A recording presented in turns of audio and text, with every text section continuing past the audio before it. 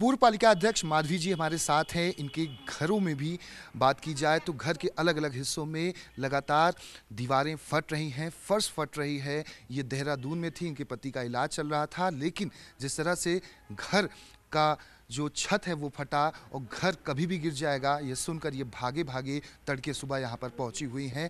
माधवी जी, कितना डर बना हुआ है और आप अस्पताल में थी वहाँ से भाग कर आई। पहले सब तस्वीरें हम दिखा देते हैं कि ये दीवारें हैं जो नया कंस्ट्रक्शन है। दीवारें लगातार फटती जा रही हैं और ये फटने का सिलसिला लगातार जारी है। दीवार को रोकने के लिए आप देख सकते हैं बल्लियों का सहारा लिया जा रहा है लेकिन बल्लियों का सहारा कितना घंटे और कितने दिन तक ये रहेगा ये किसी को नहीं पता है। ये टाइल्स अब पूरी तरह से फटती जा रही है। ज़मीन के नीचे का हिस्सा पूरा ये फटता जा रहा है और इसके साथ साथ आप देख सकते हैं ये पूरी जो टाइल्स है, ज़मीन है, पूरी दरकते हुए आगे की तरफ़ बढ़ती जा रही है। दरवाज़ा भी इसकी चपेट में है, दीवार भी इसकी चपेट में है और ये पूरा जो हॉल का आप हिस्सा देख रहे हैं, पूरा ये फटा हुआ है। ये बाहरी हिस्सा भी एक बार फिर से हम दिखाने की कोशिश करते हैं कि किस तरह से ये पूरी जो भूस्खलन हुआ है, ज़मीन में कंपन हुआ है, कंपन की वजह से ये पूरा, पूरी दीवार, काफ़ी मज़बूत दीवार है और नया कंस्ट्रक्शन होने के बावजूद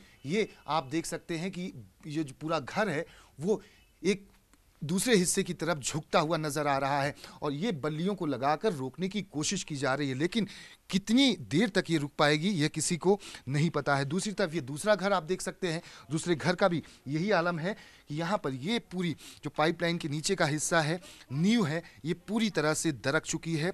ज़मीन के नीचे जो कंपन हुआ, उसका ये असर है और इसका असर ये एक घर नहीं, दो घर नहीं अनगिनत घर सैकड़ों सैकड़ों घरों की यही स्थिति है और यह स्थिति लगातार इसी तरह से लोगों को और डरा रही है। लोगों को अपना घर छोड़ने के लिए मजबूर कर रही है। अब से जाना चाहेंगे ये कब आपने खबर सुनी और इस तरह की स्थिति जो हुई है उससे कितना डर खौफ लोगों में और है? नहीं खबर नहीं हम यहीं पे रहते हैं वैसे। वो तो मंथली चेकअप होता मेरे हस्बैंड का हार्ट प्रॉब्लम है तो अभी दो दिन पहले हम देहरादून गए। उनका चेकअप हुआ उनको देहरादून छोड़ के फिर मैं यहाँ पे आ गई हूँ। तो घर तो छोड़ नहीं सकते हैं ना कहाँ जाएँगे बताइए? इतना सामान है। स्थिति आप देख रहे हैं क्या कर सकते हैं बताइए आप? आज मुख्यमंत्री जी आ रहे हैं कोई समाधान निकलता है तो अच्छी बात है। इतने उससे हमने मकान बनाए सभी ने बनाए जो अपने रहने के लिए और आज बेघर हैं। ये क्यों हुआ? इस पे अभी कोई वो नहीं हुई कि ये हो क्यों रहा है? ये दरारें क्यों आई? मारवाड़ी में इतना पानी निकल रहा है वो कहाँ से निकल रहा है? बहुत सारे प्रश्न हैं जिसका समाधान होना है और टेक्निकल टीम आ रही हैं जा रही हैं। ये मीडिया आ रहा है जा रहा है। ठीक है हाईलाइट हो रहा है। जब सुनवाई होगी तब शासन प्रशासन हरकत में आए हैं।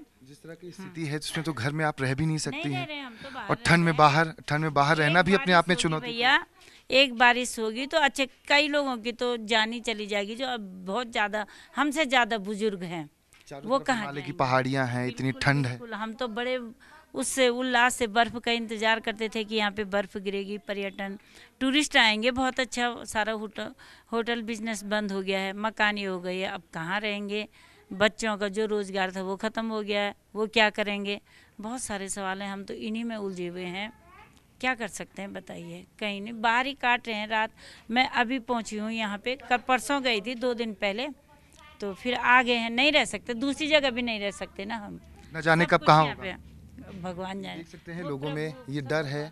लोग अपने घरों से बाहर हैं घर की स्थिति देखकर लोगों को दुख हो रहा है और छतों पर लोग इस तरह से बैठे रहते हैं क्योंकि अंदर घर के रहना इनके लिए एक खतरे से खाली नहीं है और बाहर की स्थिति ये है कि विशाल ठंड लगातार यहाँ पर जारी है और बारिश हो गई तो न जाने कितनों की मौत हो जाएगी, क्योंकि घर में रहना अब इनके लिए ज़्यादा उचित नहीं होगा। कैमरामैन कालिकान के साथ Deepak Dubey, news twenty four Joshimath.